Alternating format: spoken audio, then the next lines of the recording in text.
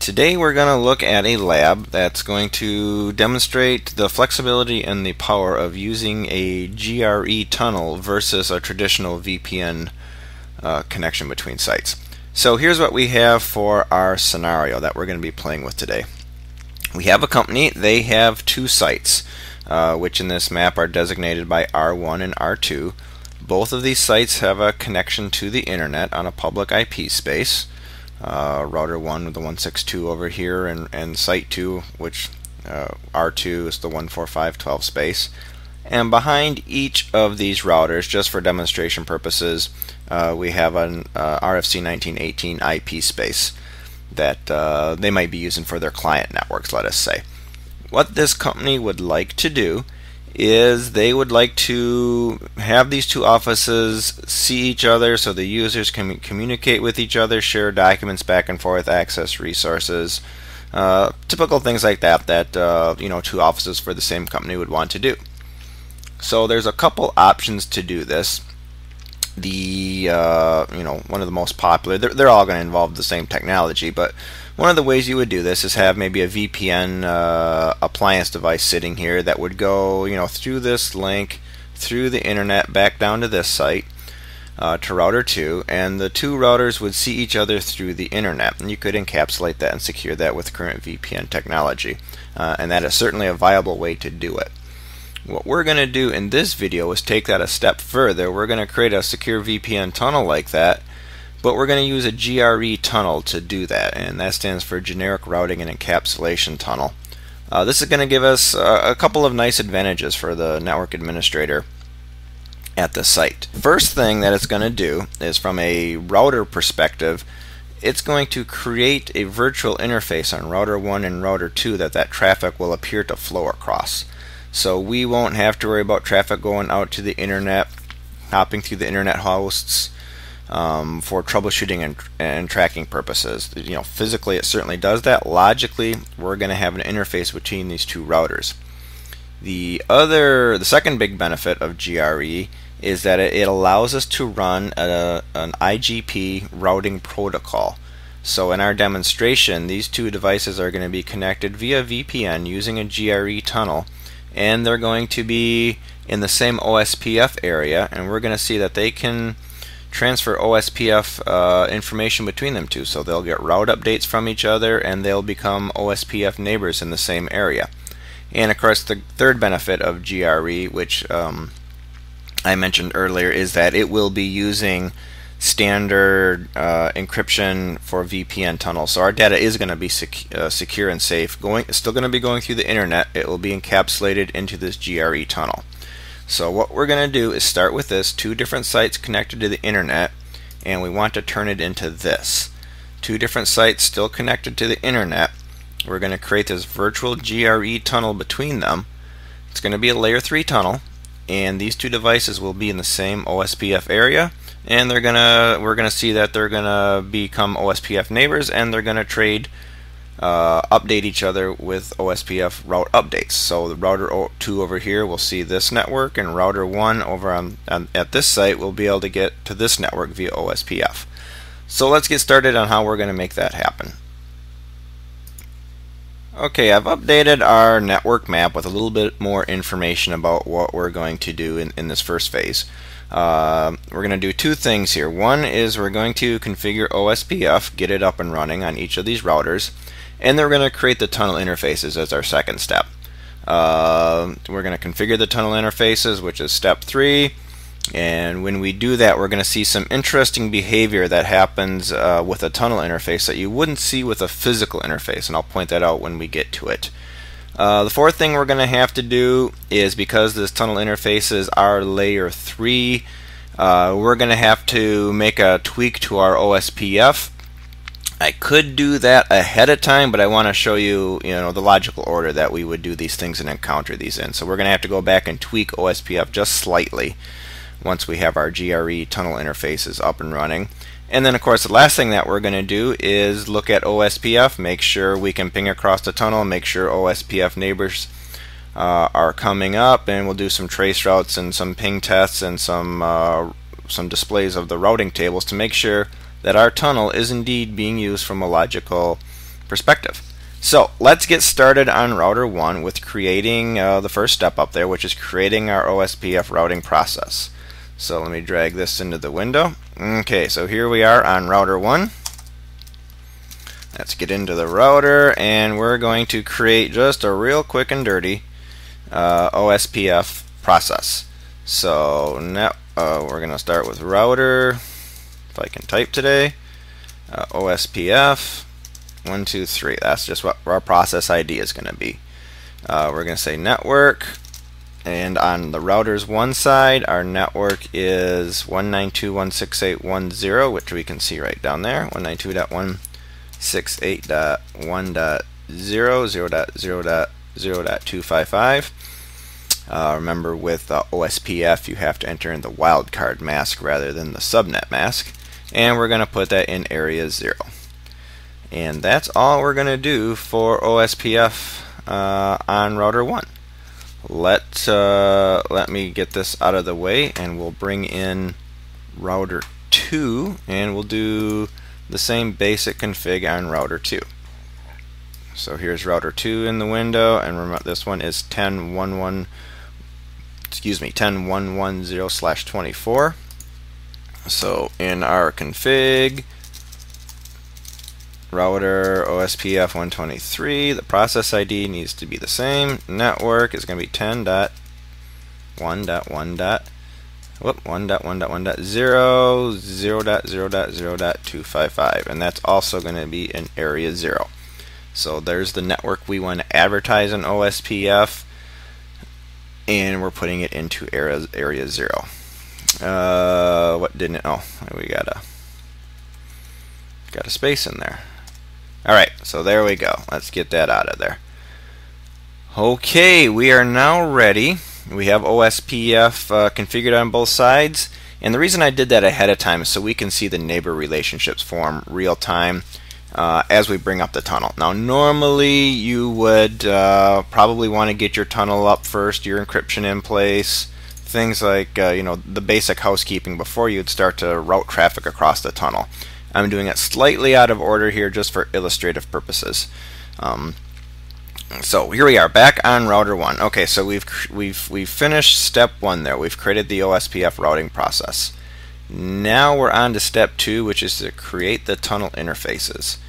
Creating a tunnel interface is is is very much the process like creating a loopback on a on a Cisco device. It's a virtual interface and you just create it. It's not a uh, you just tell the router I'm making up this interface, very much like creating a, like I said, a loopback or an SVI, a VLAN interface. So we're going to say we want to create interface tunnel, we'll just call it tunnel 0.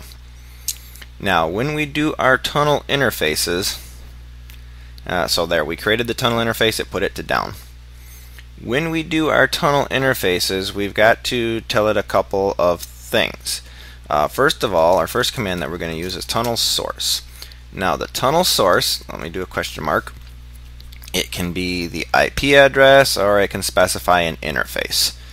What we're going to do in in this case when we look at our network map from router 1's perspective, the source of the tunnel where it's going to start is going to be fast 00 because that's connected to the internet and its destination is going to be this public IP address over on fast 00 on router 2.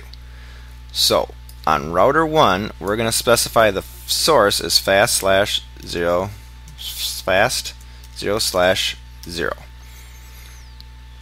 Okay, now I'm going to do something I should have done earlier, but I want to do ping. I want to make sure this router can actually get to the internet. Okay, again, good enough. Okay, so our tunnel source is fast 00. The next thing we need to do is specify the destination. Now the tunnel destination is the public IP address over on this side. So we're going to type that in 45.12.153, 45.12.153 dot uh, the IP address on that interface is 202. 202. Now we're going to see something interesting happen when we hit the enter key here. So we've got our source and our destination for the tunnel. And look at that. We get a message that tells us our interface tunnel 00 has gone to an up up state. How can that be? The tunnel interface is logical. It does not have a built-in keep alive statement like you would see from a Cisco device on a, in a physical interface. So in order to rectify that, we're actually going to add a keep alive statement. We'll say three seconds. Just, I'm just kind of making these numbers up. Now, once we do that, we're going to see that um, it's going to try and do a keep alive, and our tunnel interface will go down um, because there really is nothing that it's communicating with on the far side. There we go. The tunnel interface changed state to down. It couldn't communicate. The keep alive failed, so it truly put our tunnel in the accurate status, which would be an up-down status. So now we have the tunnel interface created on router 1. We can see it if we do uh, do show IP interface brief. So there's our tunnel interface. It's in an up-down status, the bottom line here. So we have to add a few more things to it uh, to bring it up to what we want. First thing is we need to assign it an IP address. We want this to be a layer 3 interface. So just like any other interface, we're going to assign it an IP address. Based on our network diagram back here, the interfaces are 10.10.1. This is going to be dot 1. This is going to be dot 2 on a, on a slash 30 interface. So this one is going to be 10.10.1.1, 255, 255, 255, 252 to give us our slash 30. So there we've assigned it an IP address. I'm going to do two other things to this tunnel that we don't need to do um, for the sakes of this demonstration, but if, if you're going to really build a tunnel, you, you may want to add these statements in. The first one I'm going to do is tell it the tunnel to do its own path MTU discovery because it's going over the internet. And the last thing I want to do is because we're going to be using OSPF on this tunnel, I'm basically telling it the same thing uh, to keep OSPF packets nice and neat. Okay, so do show IP interface brief. And there we go. Our tunnel 10.11, uh, 10.10.11, it's got an IP address. It's up, down, because we added that keep alive statement. So it really cannot reach its destination. Uh, so it's in an up-down state right now. Let's hop on over to router 2 and configure the tunnel interface on router 2. Um, basically the same way. So here we are on router 2. Uh, we're gonna first step was to create the tunnel interface interface tunnel 0. Uh, we're going to give it, okay, so it went uh, to down. We're going to give it um, a tunnel source. And just like our last router, um, this is all relative to where the router sits. From So from router 2's perspective, its fast00 is the source, and this router's public IP address is the destination. So the source is going to be fast 0 slash 0, just like it was on the other side. The tunnel destination is the public IP address of router 1. So let me slide this over so we can see it. 162.27.193. Dot, uh, and the actual interface is dot 130. 130. Now we should see the same thing again here. I'm going to hit this enter. If you remember on the last time it's told us our interface switched to up up. Uh, and we saw the same thing here. Um, I'm going to add the keep alive. I think I used 3, 2 on the other one. Now what we should see this time though is the keep alive should stay up. The tunnel is now established. If we uh, show IP interface brief, we see that there uh, we did not give it an IP address on this side. So interface tunnel 0 IP address is going to be 10.10.1.2. Let's look at our diagram again. So 10.10.1 slash 30. So this one gets 1, this one gets 2. So it's going to be dot 2. Subnet mask 255.255.255.252. And then while I'm in here, I'm going to add those same other cleanup commands. MTU path dis. Oh, I hit the cap lock. Path uh, discovery and we are going to be using OSPF, so IP OSPF MTU ignore, just to keep our tunnel working well with the, uh, the OSPF protocol. So again, let me get out of the interface. Interface brief. There's our tunnel. It's got an IP address. It's up up. Uh, you notice this time, as I mentioned, the tunnel did not go down after we kept the keep alive. Our, our tunnel's established now. So let's go back to router 1 and we should see that the interface came back up and it did. Tunnel 0 came back up. So the first time the keep alive kept it down because there was no uh, interface for it to, to do a keep alive against. Now it's up. So we can see it on the other side. Now the thing to know about tunnels is they're layer 3 so we are not going to see this. Even though on a network map uh, it looks like it's directly connected logically uh, from this perspective ah that's the interface with the ISP the ISP router. Uh, but from this router's perspective it does not see router 2 as a directly connected neighbor.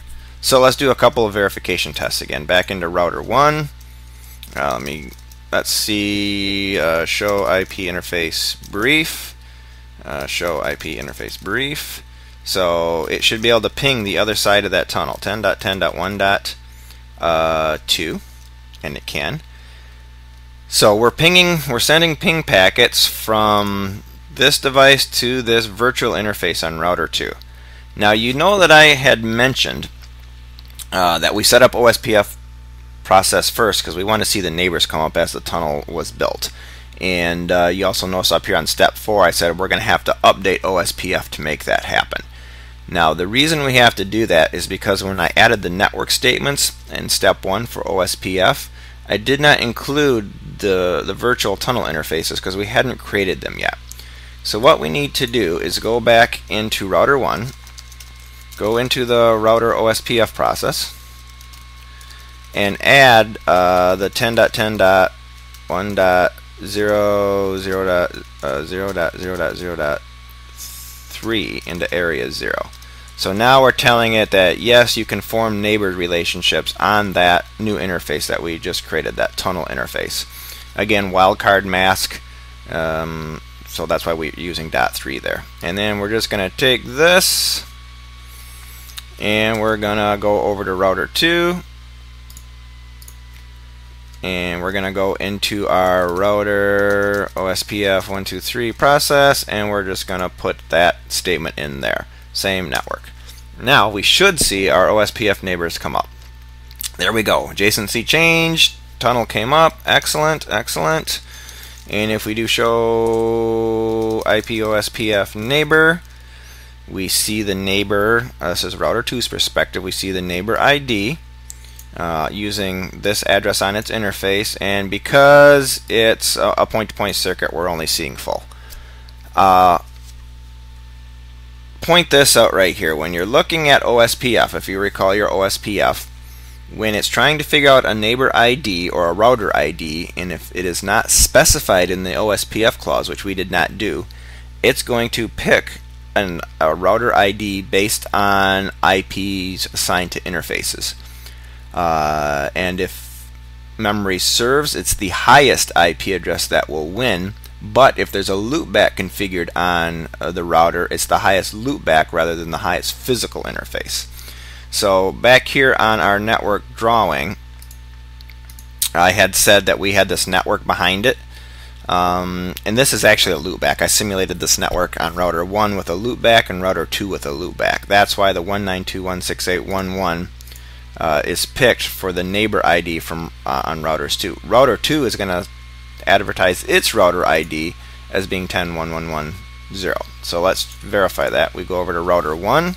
Let's do a show IP OSPF neighbor. And there we are. The neighbor ID 10.1.1.1 because that's the highest loopback on router 2 over here. Again, this is a loopback. It's up in the up in in full state uh, using tunnel 0.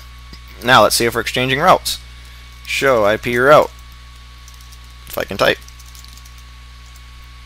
And so there we are indeed. Router 1 is learning about the 10 network, 10, uh, the uh, 1011 network, excuse me, from, which is over here on router 2, it's learning it from OSPF using this GRE tunnel. Okay, so we've accomplished our steps here. We've created the process, and I guess I could have done it all at once. 1 and 4 didn't need to be separate steps. Uh, create we created the tunnel interfaces. We added some extra commands to keep them clean. Specified source and destination and uh, IP addresses, and uh, we updated OSPF with the virtual interfaces from the tunnels, and then we did some verification commands.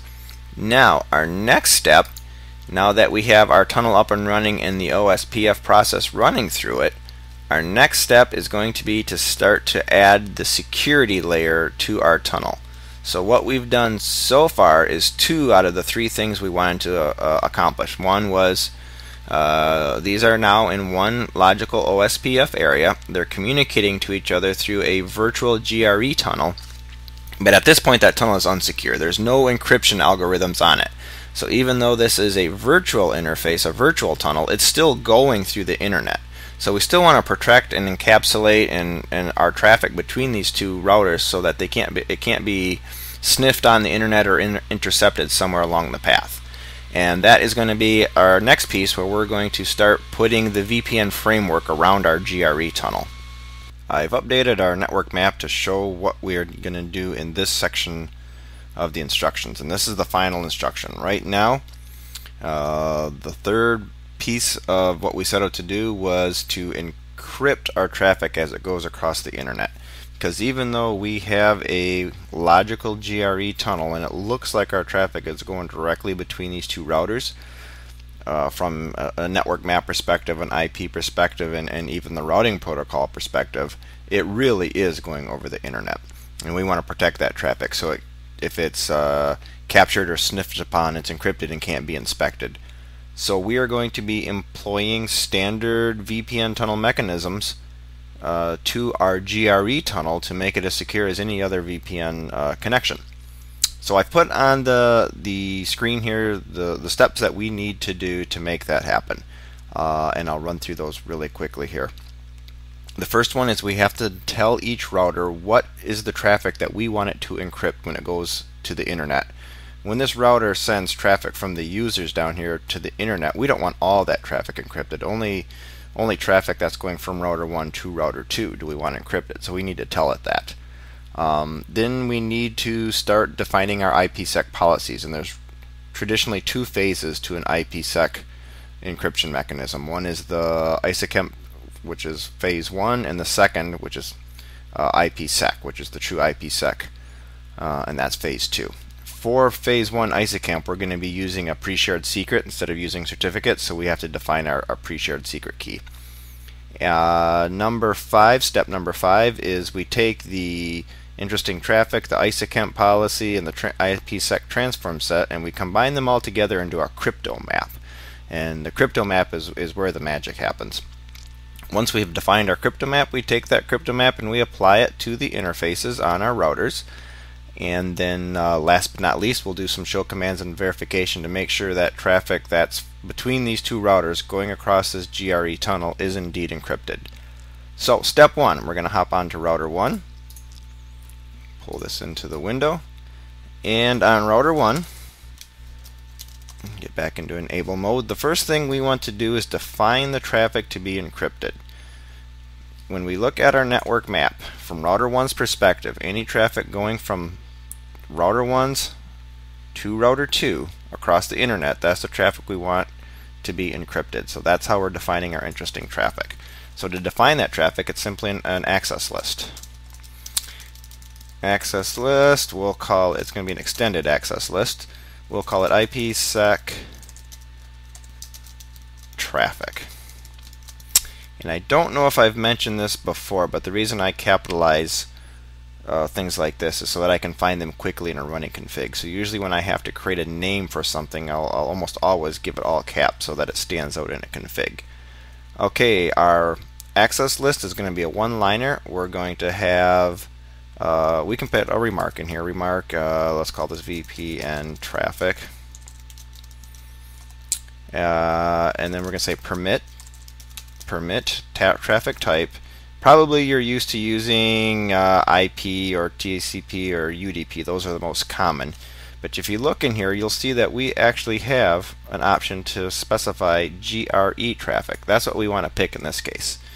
So permit GRE from host, uh, the public IP address of router 1, which is the IP assigned to fast 00. So that is 162.27. Slide this out of the way.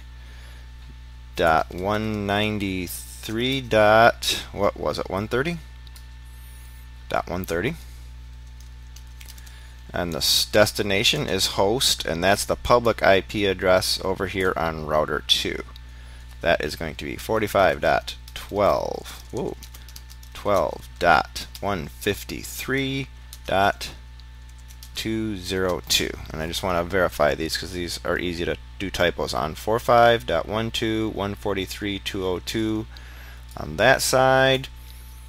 And on this side it's 162 27 193 130 okay so that's the access list that we're going to use to define the interesting traffic again from router 1's perspective.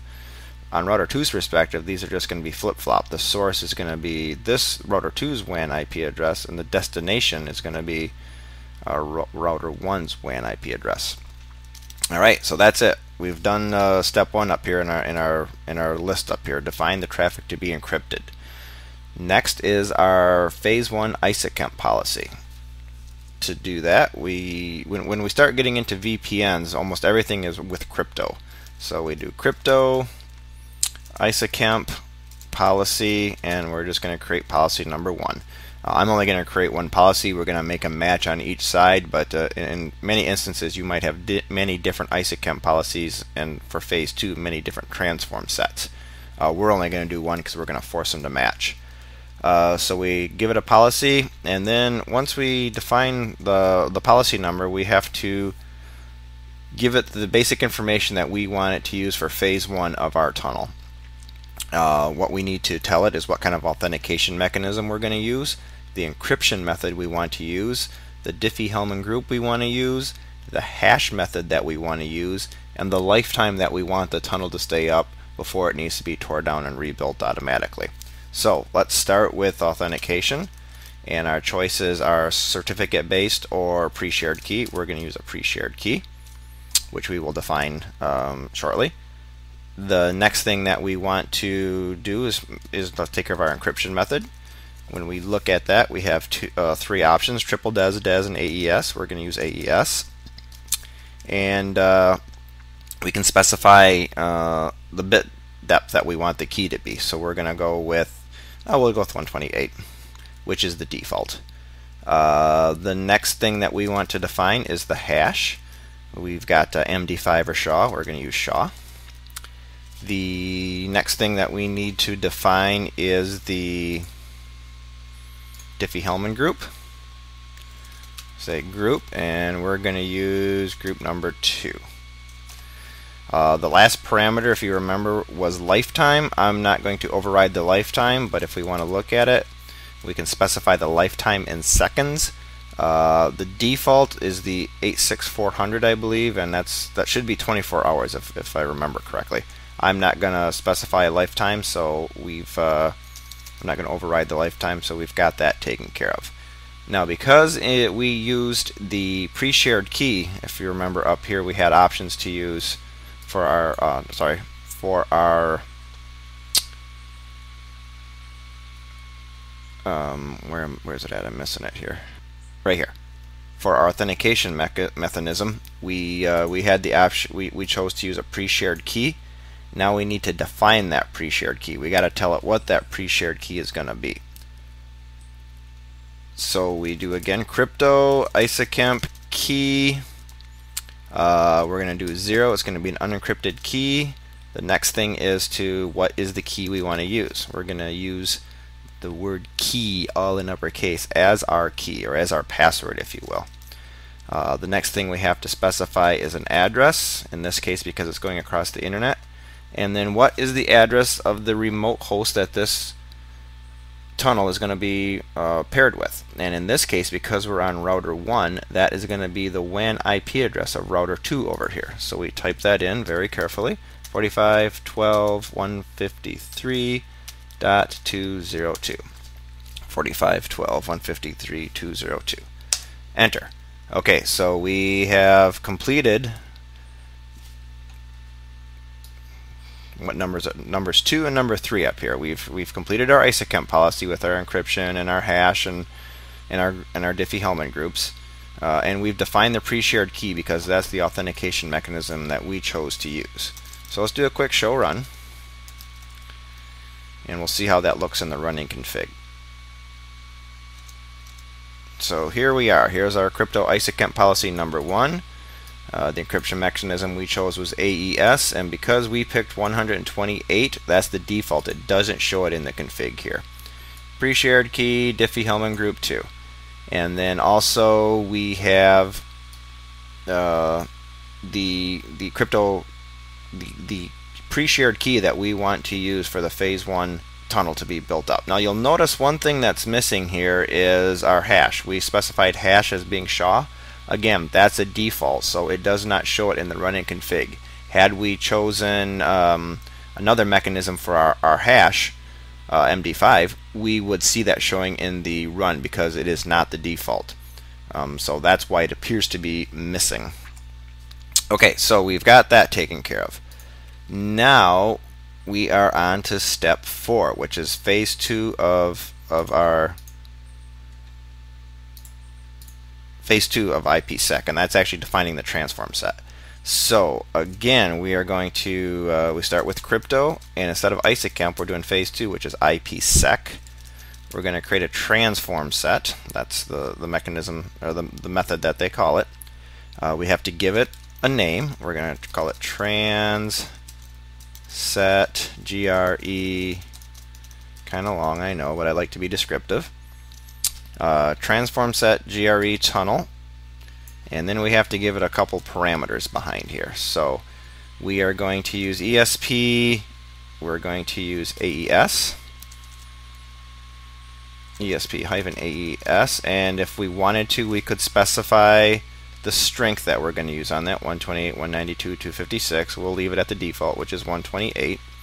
And then the other thing that we need to specify is that we're going to use SHA. So ESP hyphen SHA. And hit enter. Okay, and then the last thing we want to do is say mode. We have a couple of different modes that we can have our transform set be defined for, and we're going to use it for a tunnel mode. Hit enter. All right, let's look. Let's do a show run here again, real quick.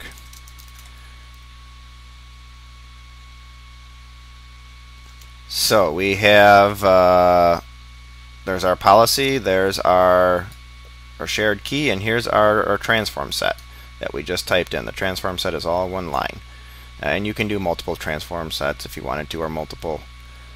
Uh, just like you can do multiple ISAKMP policies. So if you have multiple tunnels going and you want to use different authentication encryption mechanisms on the different tunnels, you, you have that flexibility. Alright, so back over to here. We are now on step 5. Step 5 is where we take our, our access list, our phase 1, and our phase 2 information and we tie it all together into an item called a crypto map. A crypto map is what brings it all together.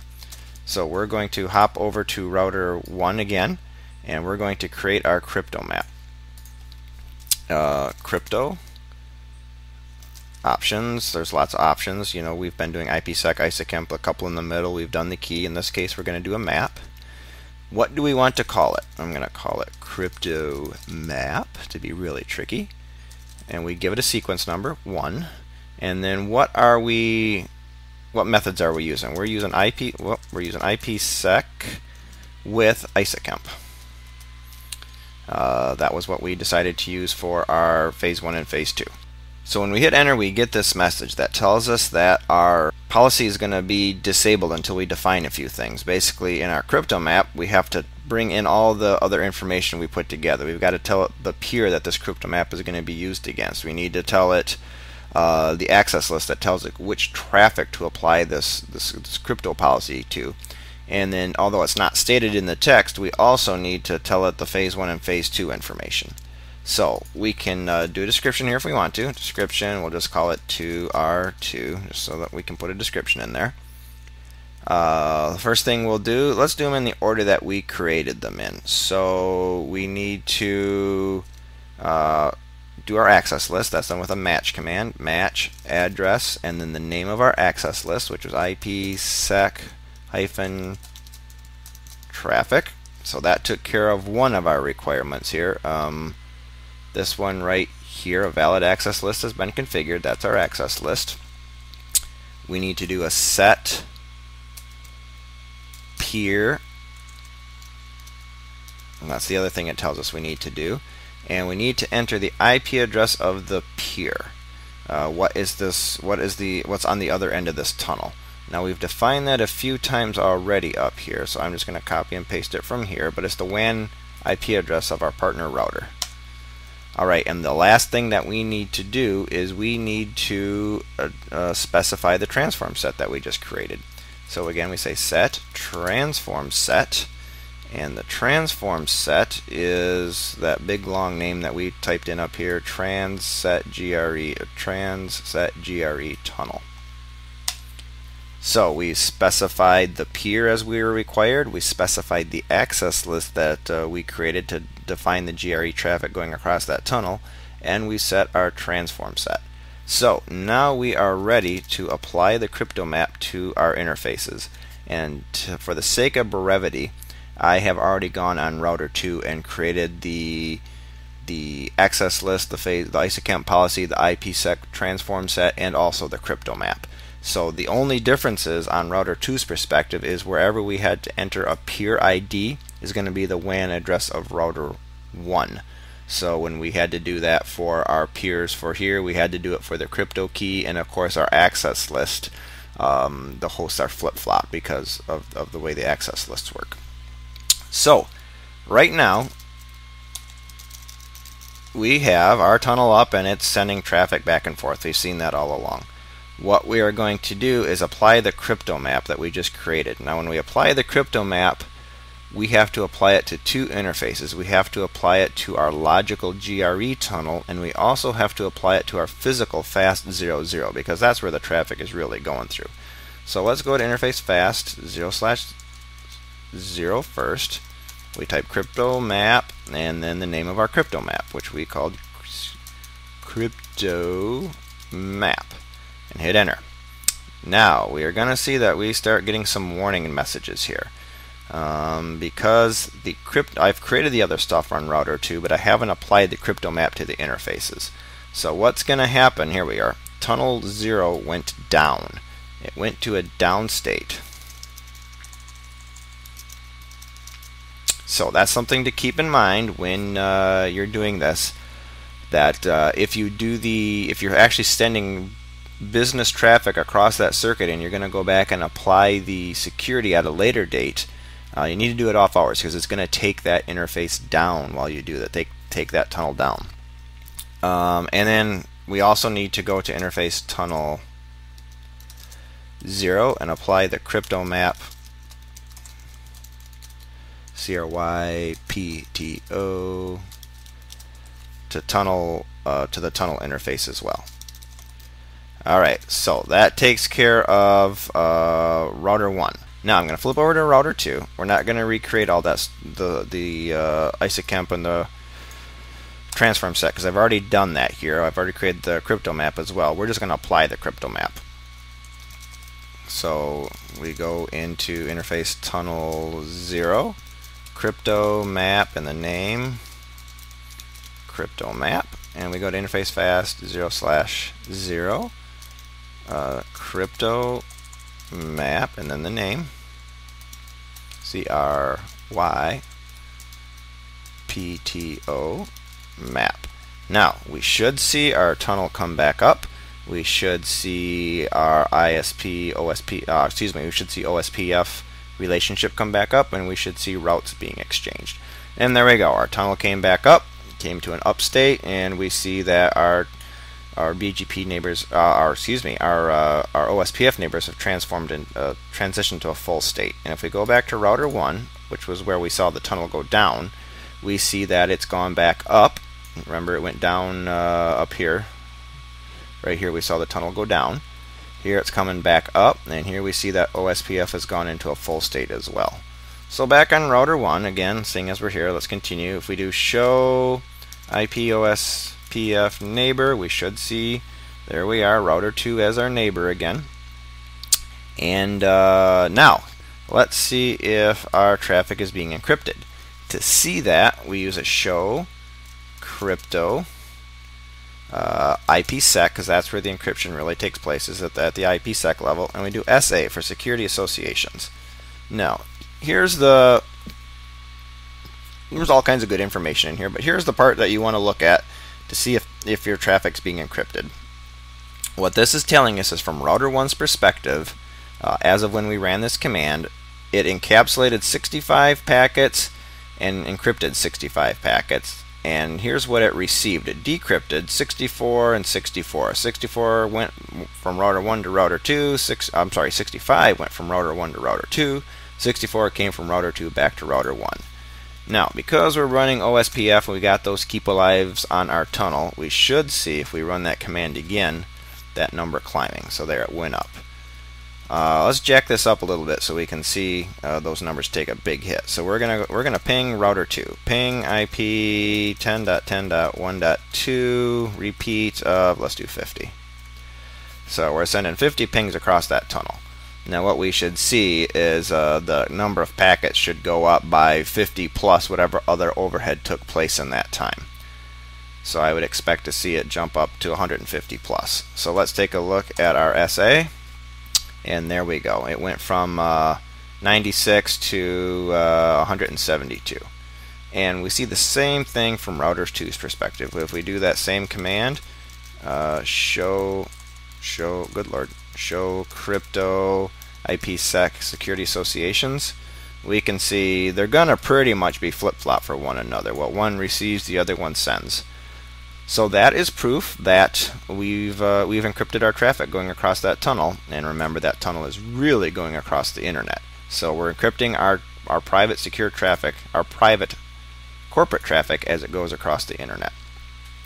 So there we go. We've we've we set out to accomplish three goals, and uh, we've done all three of them. We've we've uh, created the GRE tunnel interface as a layer three interface. We put these two routers that are connected directly to the internet and they're in the same OSPF area. Dynamic routing updates are going from router 1 to router 2 using this virtual private tunnel. And then we've taken that uh, that that logical interface and we've secured that traffic using IPsec so that when it goes through the internet, physically goes through the internet, it's encapsulated and encrypted and, se and secured traffic flows through the internet so our traffic can't be intercepted and inspected. So I hope you found this tutorial informative. Thank you for watching.